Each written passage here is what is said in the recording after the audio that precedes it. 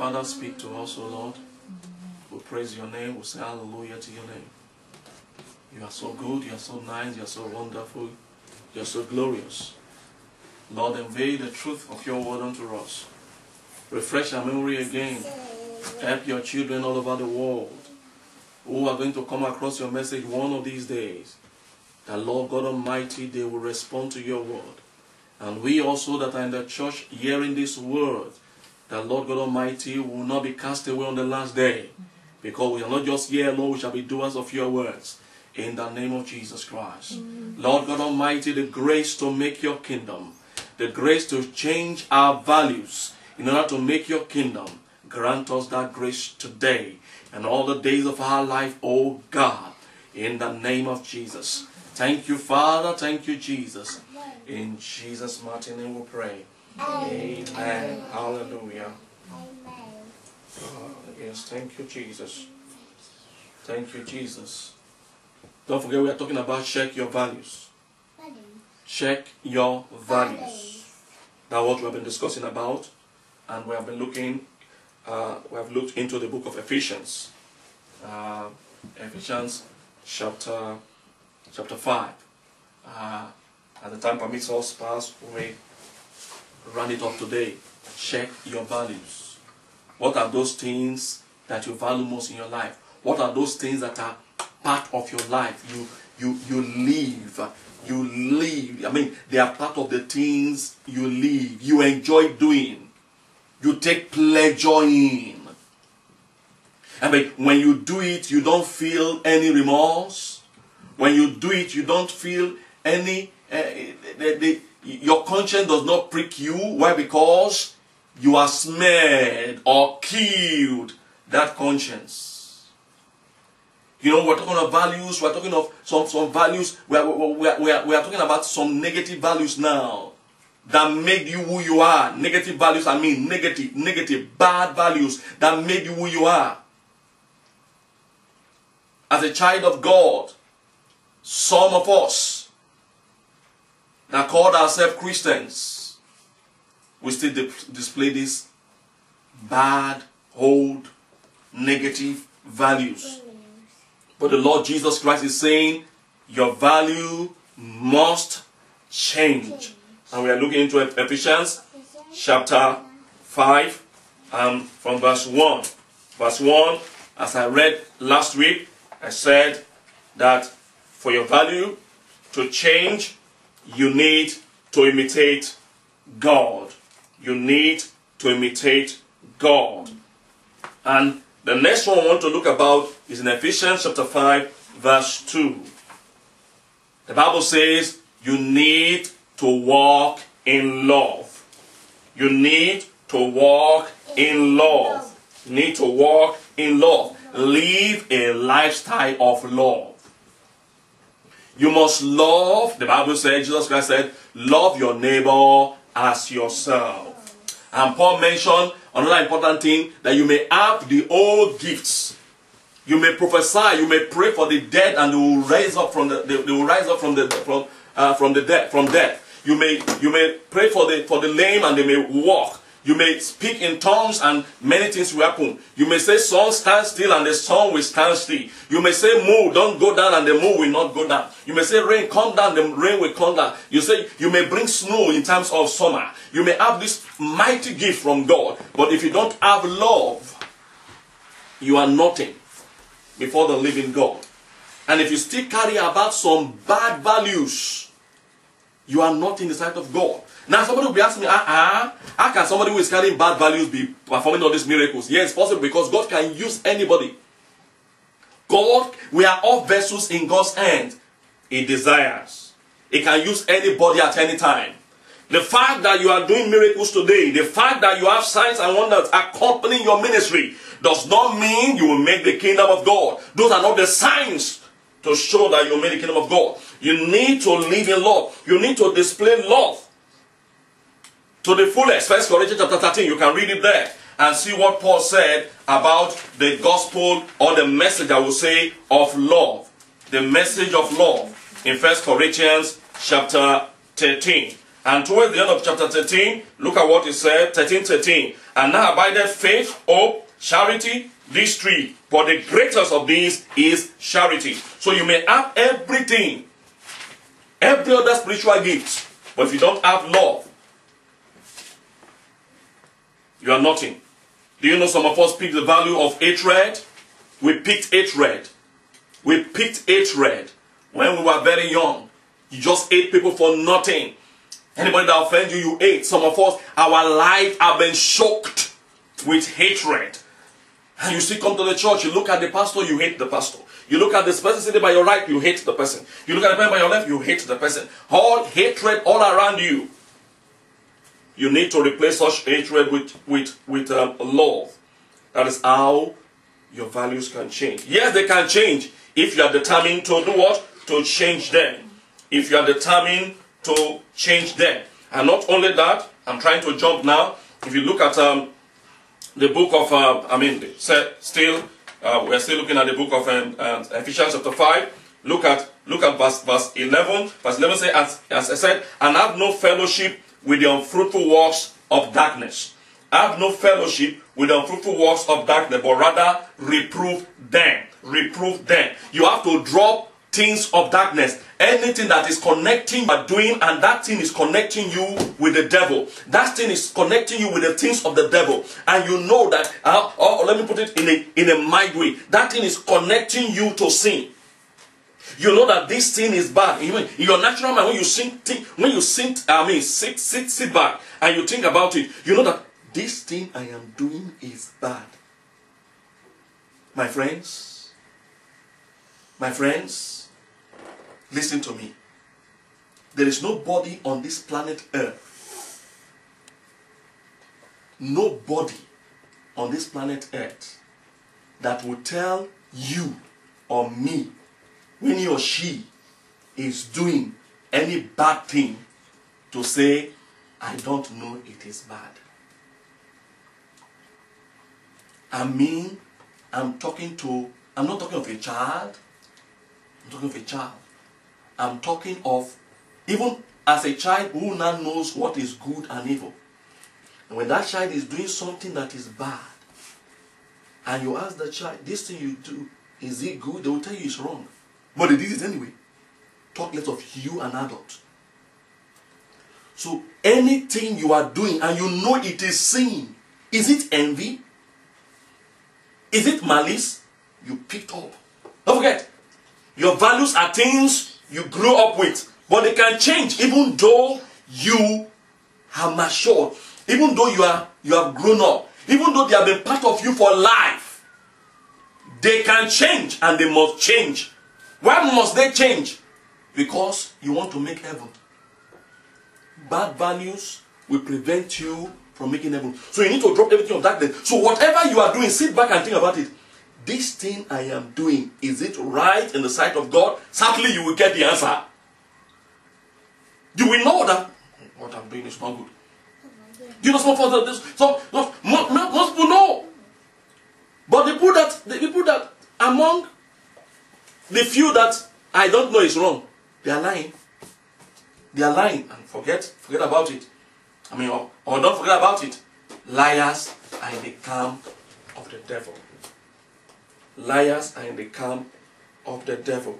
So we need to drop every form of darkness, everything connected to darkness. If you look at it from verse 3, from verse 3 to, to 5, you see what Paul was trying to say there that it may, um, I mean, so, uh, 3 to 5 says, But fornication and all uncleanness, covetousness, let it not be once named among you as becometh sin, neither feeding, nor foolish talking, nor jesting, which are not convenient, but rather giving of thanks. For this ye know that no warmonger, nor unclean person, nor covetous man, which an idolater, hath any inheritance in the kingdom of Christ and of God.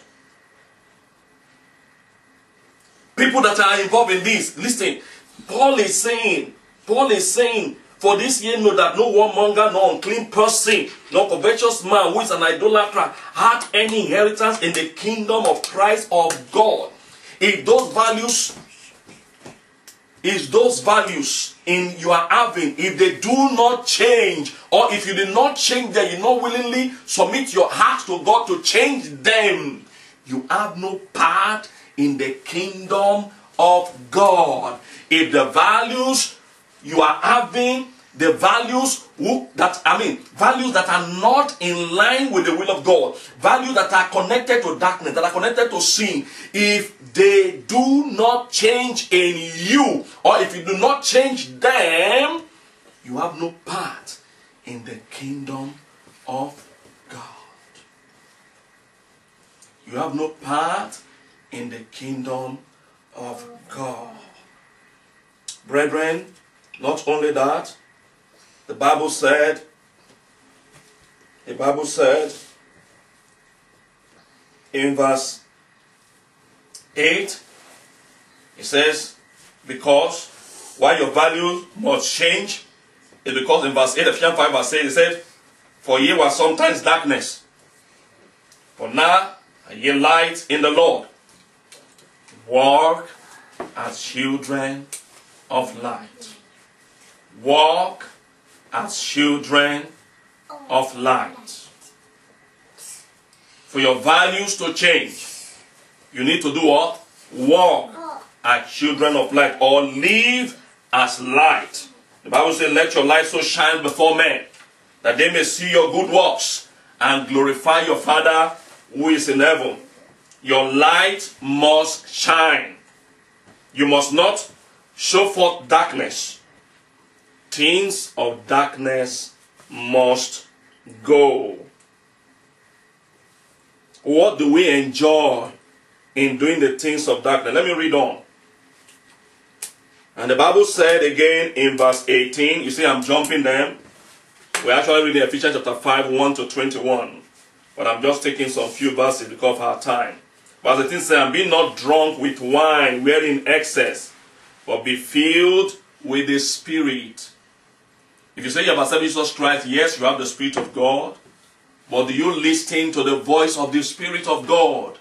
If you don't listen to the voice of the Spirit of God, there's no way you can be filled with the Spirit eh, of God. When the Spirit of God is telling you not to do this, not to do that, and you continue to disobey, then you cannot be filled by the Spirit. Also, you need to be filled with the Spirit and not get yourself getting drunk and you say you are a child of God. It does not way, it does not work that way. And the Bible said in verse 19, speaking to yourself in psalms and hymns and spiritual songs, singing and making melody in your heart to the Lord. Instead of you nursing evil things in your mind, let your mind be that which will what? Which will bring forth good things. Let good things be coming out from your mind. Heart. Let your heart rejoice in good things. Whatever that comes from you, try to fill your heart with praises to God. Drop all those evil things that are there in the heart, those evil mindset. Don't allow them to control you. Do not give the devil a foothold in your heart. When, when evil thoughts are coming, counter them in the name of Jesus. Sing spiritual song to the glory of God.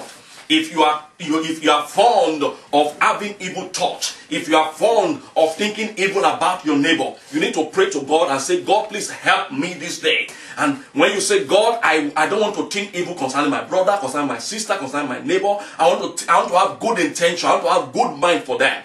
And anytime you see that that evil mind is come, just sing, sing, sing psalms, sing praises to God, and say, and bind that spirit of mind, and try to occupy your, your mind with the things of the living God. You see, the Bible, verse 20 say, giving thanks always for all things unto God the Father in the name of our Lord Jesus Christ. And also, you must learn to do what? To thank God.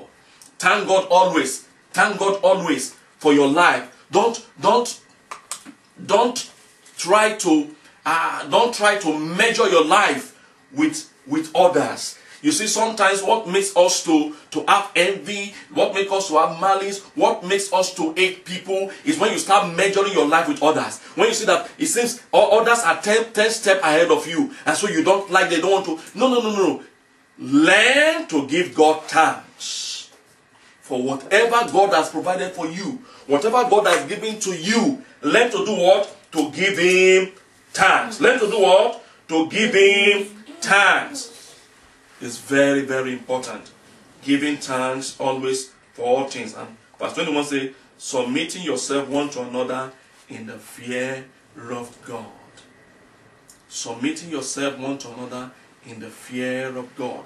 Learn to submit to authorities. Learn to submit to others, no matter who they are. You may be greater than them, but learn to submit yourself to them. Submitting yourself to them does not mean you should you should lie down so that they will put their leg on your head. That's not what it means. Submitting yourself to one another, trying to do what? Try to do what? To listen to yourself. Try to discuss. Try to solve anything you are not happy with. You understand? Try to discuss it. You don't you don't want you you don't how, will I put it now? There are some people that except you take their own, they won't accept it. No, sometimes your own, you need to drop your own, you need to submit, do my own. That do my own. No, no, no, no. You need to submit your own sometimes and try to do the one of what? Of the other. Let there be that agreement in marriage as, as, as married couples. Submitting yourself to one another. Not that it is whatever I have said, that is what you will do. No. Sometimes you need to submit yours to your wife. And your wife, you need to submit yours to your husband. And as children of God, our brothers and sisters in the church, we need to submit one to another. That's what the Bible is saying. Because they are, they are, the, the, the, the, the, the, the value you carry is that nobody rides on you. As I said last week, nobody rides on you. And if you say, nobody can ride on me, then you are automatically saying you want to ride on others. But as I said last week, if you allow people to ride on you by you submitting to them, you are heading towards heaven. But if you want to ride on others so that they will submit themselves to you, but you don't want to submit to them, then you are riding yourself to the kingdom of darkness. I pray that will not be my our portion in Jesus' name. So, children of God, check your values, change them. Anyone that does not give glory to God in your life must change. The reason is why they must change? Because you want to make God's kingdom. Do not allow the devil to deceive you. Do not allow the devil to deceive you. Let me read one part finally that I jumped, I skipped in that book of Ephesians, chapter 5. Ephesians chapter 5. Let me read one part. Look at verse 6. It said, Let no man deceive you with vain words. For because of these things cometh the wrath of God upon the children of disobedience. If you're going to disobey the word of God, the wrath of God will be upon you. Don't be deceived. All what I'm saying, all these bad values, are what is making God unhappy with many today. And that's what is making God to look at the church and weep. God is weeping. Jesus is weeping because the church is not what it used to be. People have turned the church upside down today. Why not join the wagon of those who are heading towards heaven? Who will do the right thing? Who will not be deceived by vain words? But who will take serious what the Bible is telling them? To drop their what? Bad, old, negative values and cling to good values that will lead you to heaven. Why not join the wagon of those who are going to heaven today? By His grace, I'm on my way there. And it's only by His grace that I know I will get there. It's not by my own power. I have no righteousness of my own. So also, you need the grace of God. God will lead you there. So I want us to bow our heads, even as we pray at this moment. Talk to God. If you are there, you know that you are guilty of what the Lord has just exposed to you today. Ask the Lord to have mercy upon you. Pray that the Lord God Almighty will have mercy upon you. You need to rededicate your life to Christ. Fine. Why not say, Lord, I'll rededicate my life to Christ. Are you in the wrong church? Because some of us are in the wrong church. You want to hear. The, the, the pastor, the minister is giving you what you want to hear, not the word of God. Watch it very well. The message you have had or you had last Sunday, is it scriptural? Or is it man's knowledge you went to the church to hear? Are there things you want to hear? Then you need to do what? Get rid of such assembly and go and look for the assembly of the children of God. I'm telling you, it's for your own good anyway. It's for your own good. It's for your own good. Ask the Lord to have mercy upon you. And ask the Lord to direct you to the right location where you will go and hear words that will lead you to heaven and not the one that will make you twice children of Satan. And if you have not given your life to Jesus, ask Jesus, say, Lord Jesus, I thank you for your word. Today, I've realized that I'm a sinner. I've done all what they have counted for the past three weeks. I've been involved in them. All these terrible sins, Lord, please have mercy upon me. I acknowledge my sin and I acknowledge you as my Lord and Savior. Please purge me from every sin. Write my name in the book of life. Today, I accept you as my Lord and my Savior. Thank you, Jesus. In Jesus' name. Amen. Lord, we give you praise. We give you glory. We give you honor. We give you adoration for your word today. We pray, Lord, that as many who have heard, and even myself, that you have used as a vessel, may we all not fall short of your glory. May we all not miss your kingdom. May we all get there by your grace. Your grace will not take it for granted. Help your children who have heard that they will also not take your grace for granted. Because one little mistake will lead one to hell. We don't want to go there, and we shall not go there. Heaven is our goal, and we shall get there by your grace, O God, in Jesus' name. Thank you for your word. We appreciate you. For in Jesus' mighty name we have prayed. Amen.